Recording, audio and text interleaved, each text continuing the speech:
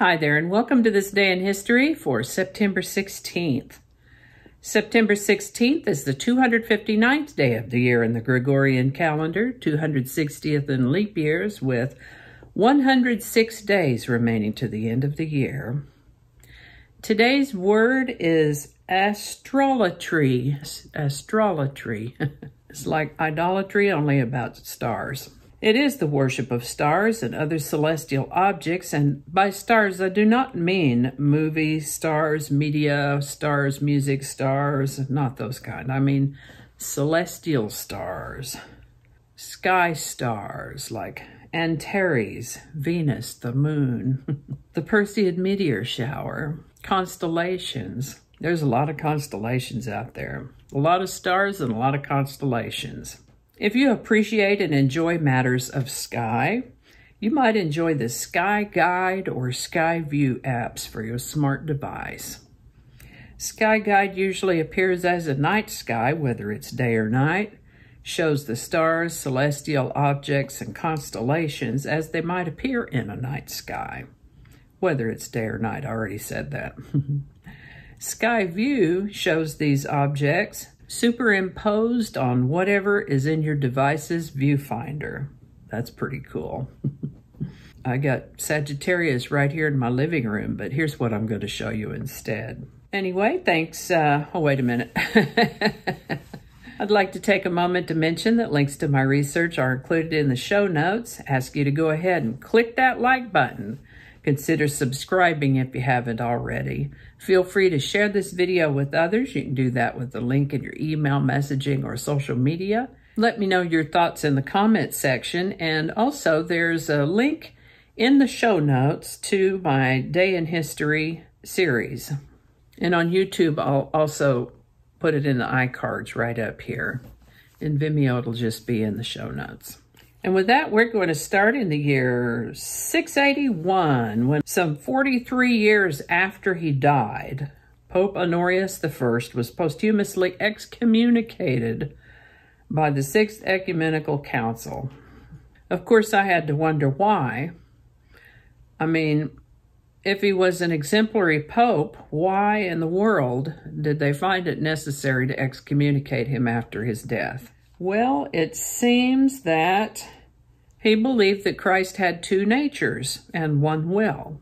Two natures and one will, which is called monothelitism. Monothelitism. But the church had come to prefer to believe that Christ had two wills, human and divine, that corresponded to his two natures. What a terribly confusing situation for a human to find oneself in. But that, uh, that feature with the two wills and the two natures is called dyothelitism. Monothelitism and dyothelitism. So the church felt that Christ had dyothelitism, and he was kind of agreeing with the idea of monothelitism. And initially they dinged him for believing in it, but eventually they really just dinged him for not putting a stop to it. 43 years after he died. Don't even give a fellow a chance to defend himself. What the heck? On September 16, 1620, pilgrims set sail from England on the Mayflower. Polish-Dutch physicist and engineer Daniel Gabriel Fahrenheit inventor of the thermometer, passed away on this day in 1736 at the age of 50. This is the birthday of American businessman and philanthropist James Cash Penney. I believe that was James Cash Penney Jr. I think his father was senior. Anyway, he was born on September 16, 1875. And if that name seems familiar to you at all, it is that uh, he is indeed the one who founded the J.C. Penney stores in 1902. He lived to the age of 91. This is the birthday of American-Canadian inventor and businessman Jacob Schick. Born September 16, 1877. Considered the father of electric razors, he lived to the age of 59. On September 16, 1893, settlers made a land run for prime land in the Cherokee Strip in Oklahoma. September 16, 1908, the General Motors Corporation was founded. This is the birthday of America director, producer, and screenwriter Allen Funt, born September 16, 1914. Creator of the TV show Candid Camera, Allen Funt lived to the age of 84. This is the birthday of American singer, songwriter, guitarist, and producer B.B. King. He was born September 16, 1925, and lived to the age of 89. This is the birthday of American actor Peter Falk, born September 16, 1927. He lived to the age of 83. Also the birthday of American boxer and actor Mickey Rourke, born September 16, 1952. He turned 68 in 2020.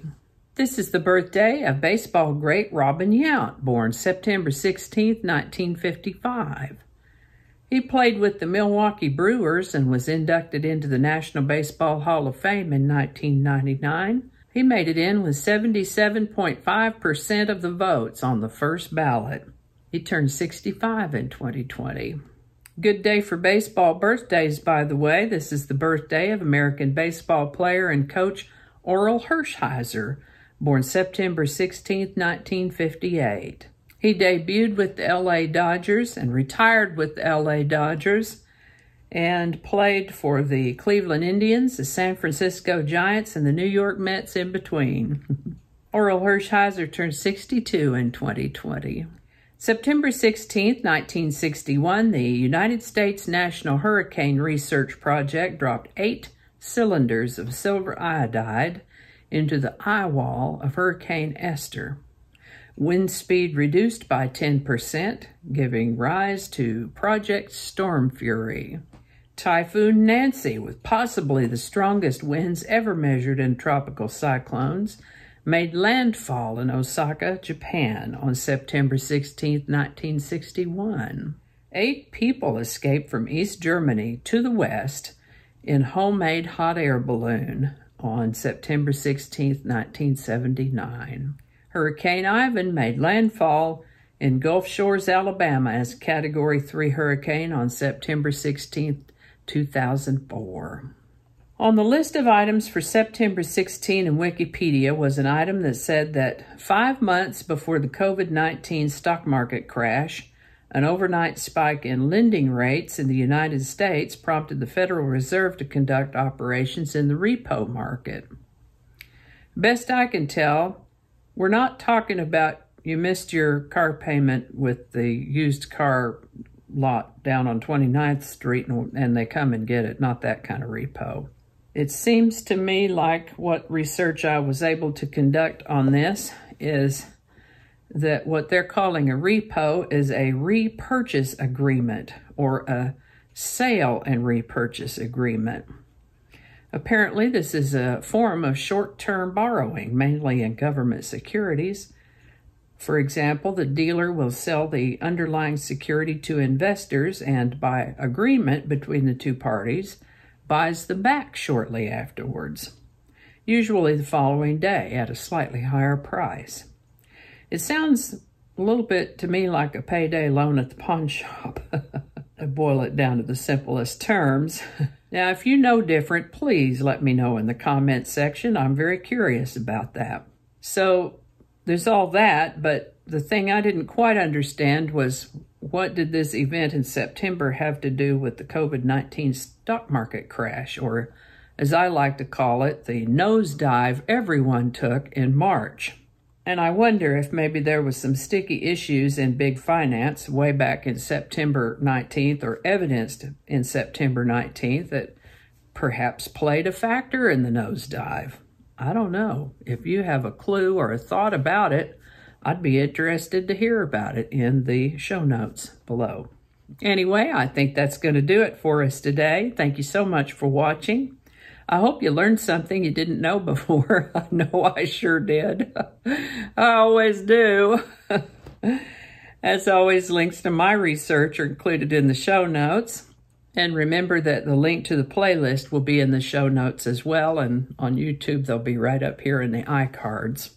Give it a like if you enjoyed this video. Consider subscribing if you haven't already. Feel free to share this video with others. And again, be sure and let me know your thoughts in the comment section. Thanks again, and I'll see you next time.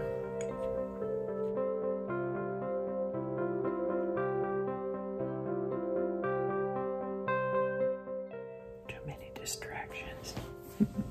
this is what happens when you don't clean up your script.